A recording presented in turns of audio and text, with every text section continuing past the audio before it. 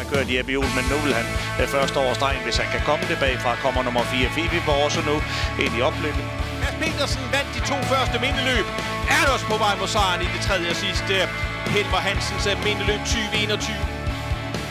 8 Gurli Tinghøj kommer susen ud i banen for Jeppe Juhl. Og så er det 8. Gurli Tinghøj vinder ganske let for Jeppe Juhl. Det er Niais Bakkely, der nærmer sig. Niais Bakkely helt frem, og Niais Bakkely gør det, tror jeg, på målstregen. 6 Majsa Miller tilbage. Sidste års hest alle kategorier. Den vinder dansk 2000 Guinness med flere længder til nummer 7 Massetto. Den nærmer sig nu Bandit Brink. Det gør også Selo midt i banen. Rushmore Face den klarer sig og vinder som første favorit.